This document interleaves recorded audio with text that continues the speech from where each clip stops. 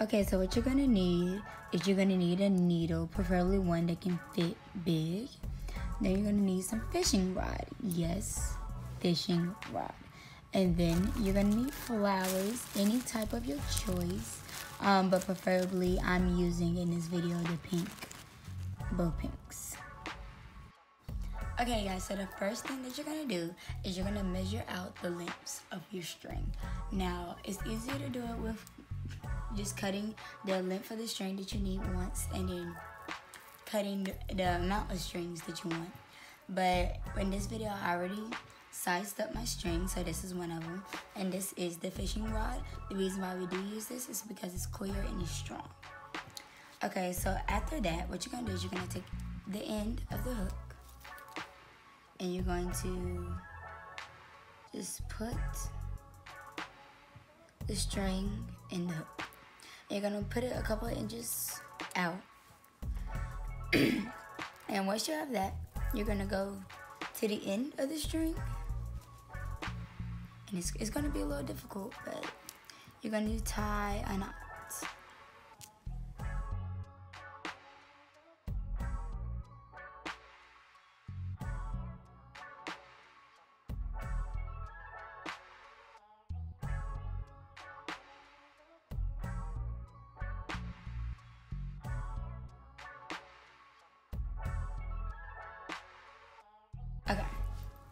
Once I have that, I'm gonna cut a good bit of it off that won't be hidden. So now I'm ready to put my stuff in. Okay.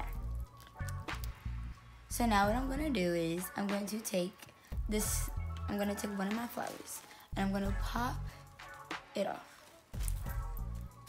And what I'm doing is simple, simple, simple with this type of flower, I don't need to do a double thread. I can go straight through.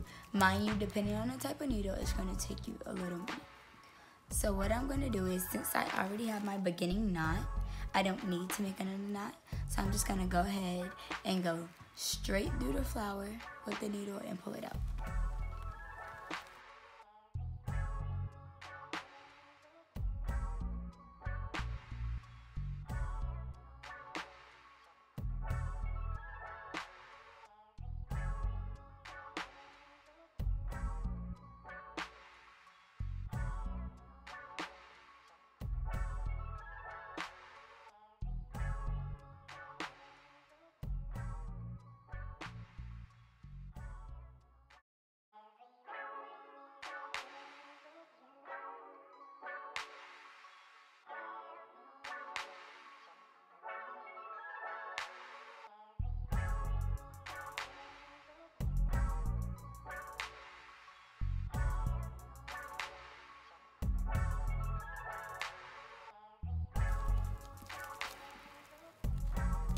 And then once it's through, you're just gonna go all the way down the string until it meets the knot. And it should be like this. Perfectly in. And you can fluff it out more to where the string, the flower is it meets the end of the string. After you've made it through your first flower, the method to making it look spread out is making a knot. So you're gonna make a knot wherever you want your second flower to go. Preferably, I like mine's a little higher up.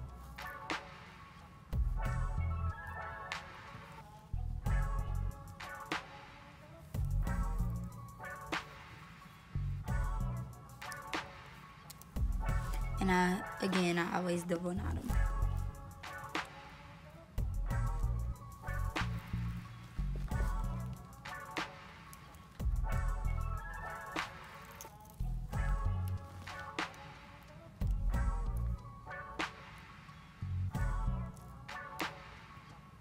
So once you, so once you have that, you're going to basically do the exact same method as before.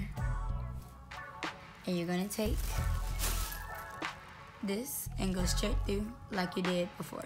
And you're gonna continue doing that method until you reach the desired length that you want.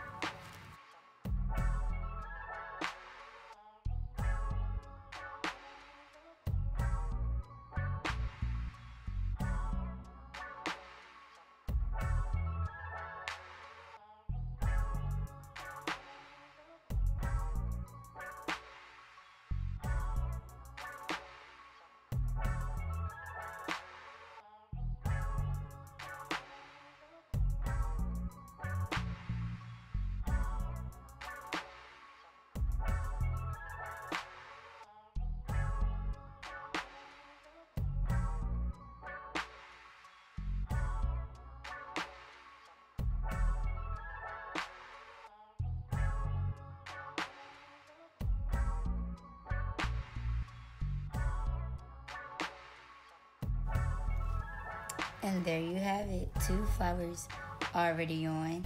Don't worry if they turn, you can always turn them to face them the exact same way. So what I'm gonna do is I'm gonna continue to knot and put flowers down until I get to the desired length of flowers that I want.